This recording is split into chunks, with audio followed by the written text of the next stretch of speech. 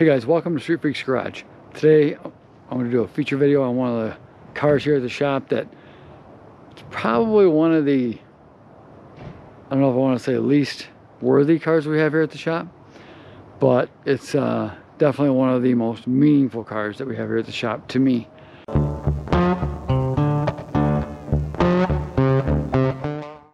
This next particular car I'm going to go ahead and show you is a vehicle that uh, I was uh, transported back and forth to high school in this car uh, way back in the day. Um, it was my mom's car. We had this thing for a long, long time. And long story short, every day to high school, she would go to work and she worked in the same town next to the school. So I would ride with her in this car every single day going to high school and I have a lot of fond memories in this car. Well, fast forward quite a few years, my parents had sold the car. Um, my mom didn't really want to sell it, but they had sold the car and uh, she had drove several cars after that, but she never quite loved any other car as much as she loved this particular car. So my dad had sold it to a friend of the family. He had kept the car uh, not in good storage over the years. He had it for a long, long time, probably over 20 years. And when my mom finally passed away in 2013, he had an opportunity and was offered the car back to him. Well, of course, the car's changed a lot since then, since it was sold. It was a beautiful car when it was sold. Um, the guy did a lot of work to it. He was kind of an amateur guy, uh, trying to do an amateur restoration on the car and failed. Over the years, of course, the car sat and sat and sat, and it does run. Um, it's not currently running, but we did have the carburetor off to make some adjustments. But the car does run, um, drive, all that good stuff type of thing.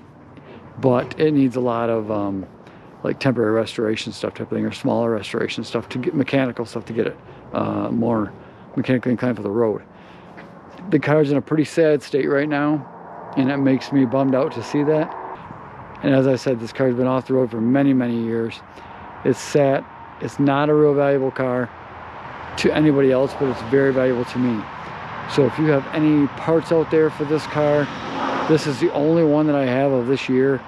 So if you have any parts out there for this car and can set me up or hook me up with a really good price or really good deal, I'd really appreciate it. Um, like I said, I lost my mom in 2013 and I really wanted to do this car up as a tribute to her and get it back on the road. Now, of course, I could buy another car like this for um, a good price, but it wouldn't be her car. This is her car, her actual car from then. And this was, you know, going to school back in the 80s. So I'm going to fan you over it now and check it out. All right, here you have it. It's a 1973 Cadillac Coupe de Ville. I've always had a soft spot for these caddies since my family had a 71 right before we got this 73. But this is a 73 overall the bodies are in nice shape he did put a couple new fenders on it the guy that had it and the rockers are still real good. Quarters are still good. Skirts are good. It did have a white vinyl top so it was all the gold color with a white vinyl top. And i remember the day my dad brought it home it had wire wheels on it when he had got it. And that was one of the first things he ever wanted to get off there. He did not like wire wheels at all. So uh, like i said it's a 73 cadillac coupe de ville. The interior looks pretty sad now. Um, it needs a lot of work. It was a tan interior. I wanted to do the car in all black, inside and out, triple black. But I kind of feel that it's not really honoring the car the way that she had it, uh, which is gold and white, and that's what she really liked. Like I said, it was one of her favorite cars that she ever owned. She really loved this car. It ran like a million bucks, drove, handled great. I should say handled like a Cadillac, that's what it did. Uh, but we're moving some things around the shop here today and we have to move the 73 Caddy. So um, he put a, I think, brand new gas tank on it. He did some work underneath the car. He put a different trunk lid on it. I'm not exactly sure why. Her trunk was, was good when we sold it anyway. I don't know what he did to it, but he had it for quite a few years. He didn't didn't have it stored inside. Had it stored outside, so I don't know exactly what kind of elements the car faced. But uh, you can see he did some patchwork on the quarter panel here, and he's not uh, an experienced body guy, so we're to have to go through and redo all that again. Uh, it looks like he might have took some of the clips off for the vinyl top. I don't know exactly. Uh, the bottom of the vinyl roof here, or the rear window area is gonna need some work. Right up here above the windows, it's gonna need a patch there. And he just like globbed Bondo on. I don't know, you know, I'm anxious to sand that down and see what, what's going on with it, but I got a few project cars in front of this one. Um, but I really would like to do this car and tribute to my mom and uh, drive it around, you know, at least one more time before something happens to me. Um, would be kind of nice. But uh, I got a lot of, awful lot of memories in this car. And like I said, it was a car that she drove um, when I was in high school. And I really hope to drive the car again.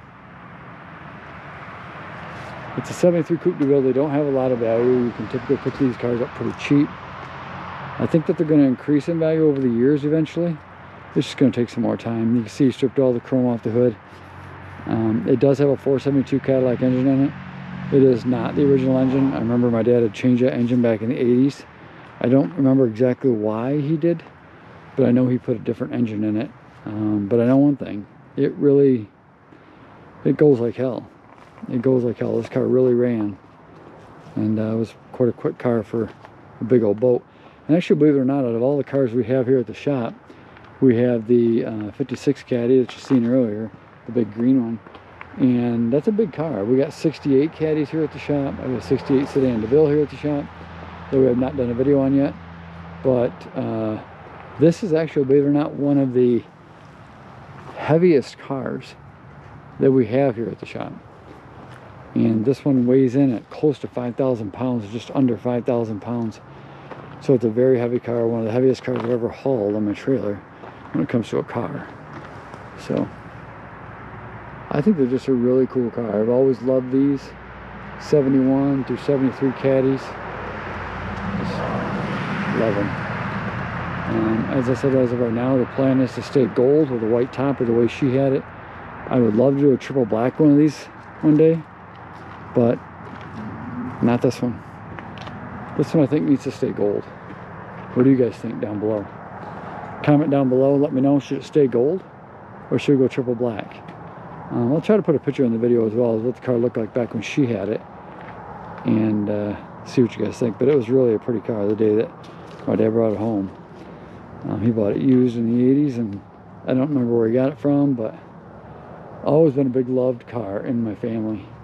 So it means a lot to me to have this car today and to have it back after she passed away because he sold it in the, I want to say, oh, probably late 80s he sold it.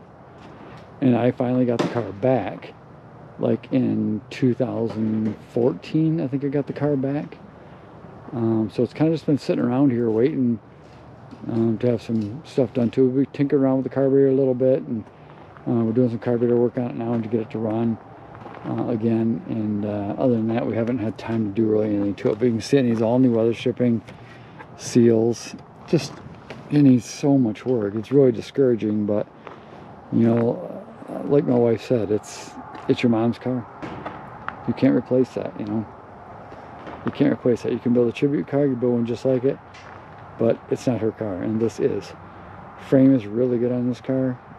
Um, yeah, it's it needs a lot of work, but you know, that's that's part of uh, rebuilding a sentimental car and a car that has sentimental value. I don't ever expect to get money back out of this car. I really don't give a shit. I'm not building it for the value of what it's going to sell for. That don't mean shit to me.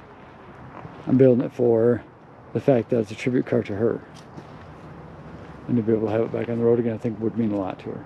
So, all right, guys, so there you have it. There's a scoop on the 1973 Cadillac Coupe de Ville that belonged to my mom back in the day. I hope you guys like it.